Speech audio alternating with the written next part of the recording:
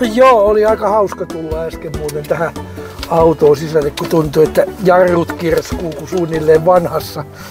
käyttämättä jääneessä höyryveturissa tai mitä näitä nyt on, tuommoisia kulkuperä tai kiitorekassa. On se aika jännä ajatella, että tämä on joskus ollut tämä, tämä on siis Honda Insight Hybridi 1.3 2011 malli, niin tämähän oli siis vuonna 2009, kun se oli, niin tämä oli ihan tota noin, niin silloin niin kuin jotain, oliko tämä nyt toinen sarjavalmisteinen hybridi ton Priuksen jälkeen, siis ihan perushybridi, että kun sä sanoit, että tällainen auto tulisi koeajoon, niin nauratti oikein, kun mietin, että tylsempää autoa saa kyllä hakea. Ja tylsähän ei tarkoita huonoa autoa. Tätä autoahan ei ole kukaan oikein koskaan niin kuin haukkunut. Että tämähän on niin kuin aikanaan ollut, olihan tämä niin kuin omalla tavallaan parimman näköinen auto kuin oli toi ihan se pulska ja pullea Toyota Prius, joka voisi sanoa, että se on kaikkien perushybridien äiti taikka isä taikka muun sukupuolinen. Et se onkin muuten vähän, vähän stressaavaa, kun pitäisi jotenkin kirjoittaa vitsikkäästi autoista, mutta eihän japanilaisesta autosta yleensäkään niin kuin löydy sitä vitsintynkää, ellei käytä tätä iänikusta hajosiko Toyotasi, joka enemmän tulee siitä, että japanin ja suomen kielessä on hirveän paljon yhteistä, että se ei suinkaan liity Toyota-autoon. Että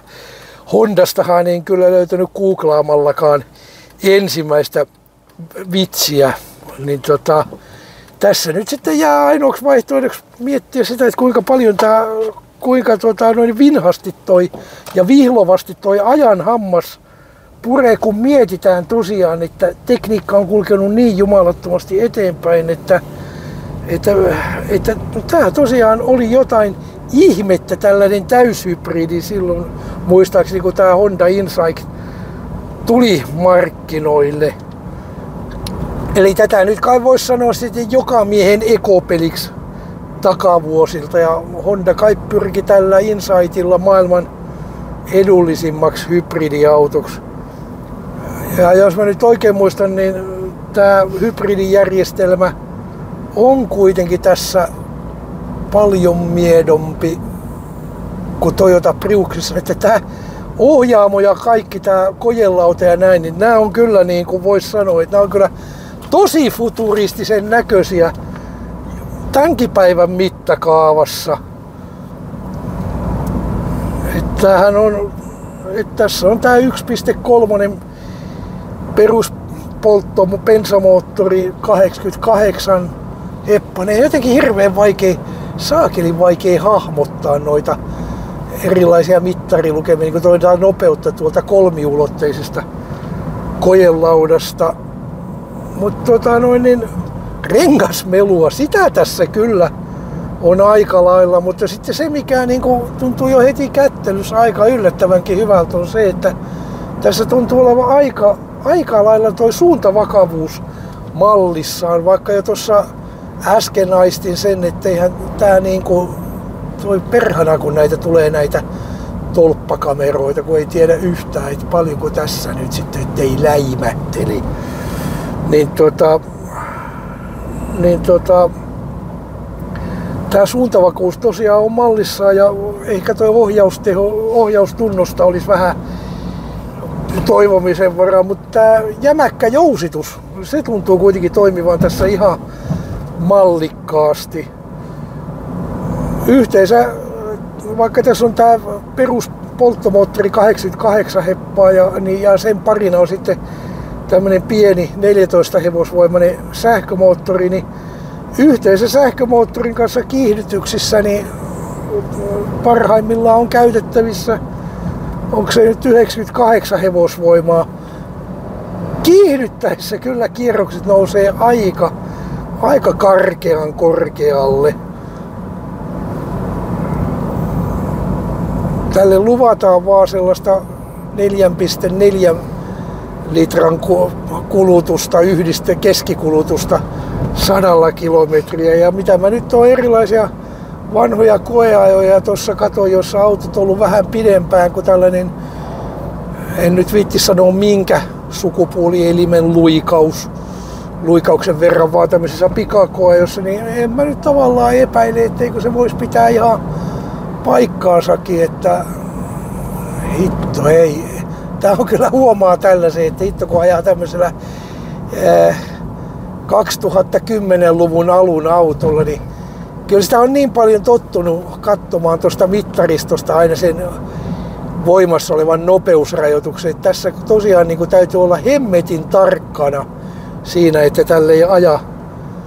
ylinopeutta. Eihän tämä mikään raketti ole, mutta ei tämä nyt varsinaisesti laiskaltakaan tunnu. Enemmän tätä voisi kai kutsua sellaiseksi perusjoustavaksi tätä menoa, mutta ei tältä nyt siis tosiaan mitään räjähtävää voimaa kannata odottaa, mutta kyllä tällä pärjää paitsi kaupunkiliikenteessä, niin, niin ihan mallikkaasti maantielläkin. Tämä ekoasetus, kun tässä on näitä ajoasetuksia, niin tuo ekoasetus, niin sehän pakottaa kulutusta sitten alemmas, kun se leikkaa lievästi tehoja ja vääntöäkin ja, ja se sitten pehmentää näitä kaasun polkasujakin, jos kuski sattuu vähän ajamaan väärin. Ja sitten tässä on tällainen idle, aika moderni idle stop-järjestelmä, joka pidentää näitä sammutus, tämän auton sammutusaikaa valoissa. Ja silloin kai ilmastointikin kytkeytyy päältä pois, kun auto sammuu. Jos ei oteta huomioon tätä, vähän, tätä hybridivoiman lähdettä, niin, niin tämähän on kuin mikä tahansa tilaava oman aikansa perusperheen auto. Ja kieltämättä nyt ihan kohtuullisen näköinen sellainen. Hintapyyntö kyllä täytyy sanoa, että kun se on 6800 euroa ja tämä on vuosimallia 2011 ja mittari lukema on 210 000, niin kyllähän se niinku tuntuu niinku vähän suolaselta, että vaikka auto tuntuu olevan ihan, ihan kunnossa ja yleisilmehän on ihan pirun siisti, niin tota, niin kyllä mä sanoisin, että en mä nyt ihan välttämättä tätä pyydettyä hintaa olisi tästä ehkä valmis maksamaan, mutta sitten jos se pyyntö pelkästään olisi 6500 euroa ja siitä sitten saisi tinkittyä 500 pois, eli tasan 6000 euroa, niin ei, kyllä mä sitten tämän voisin pistää jatkoon ja ostaakin, jos, jos tämmöinen auto pitäisi ostaa, mutta onpa se aika hauska tosiaan miettiä, että 2010-luvun alussa niin, niin nämä on ollut kyllä aikamoisia mölypesiä, vaikka muistaakseni tänkään ää, melusuutta tässä ei taidettu mun mielestä siihen aikaan erityisesti moittia, että, että varauksilla jatkuun tämäkin. Kiva kun jaksoit taas katsoa taas Kaasulaan koeajon YouTube-kanavalta ja jos et ole sitä ennen, ennen jos sulla kanava on ollut tilauksessa, niin, niin pistä se tilaukseen viimeistään nyt ja tuu taas seuraavia koeajoja voit sitten taas makustella meidän kanssa. Että ei muuta kuin kuulemisia ja näkemisiä seuraavalla kerralla.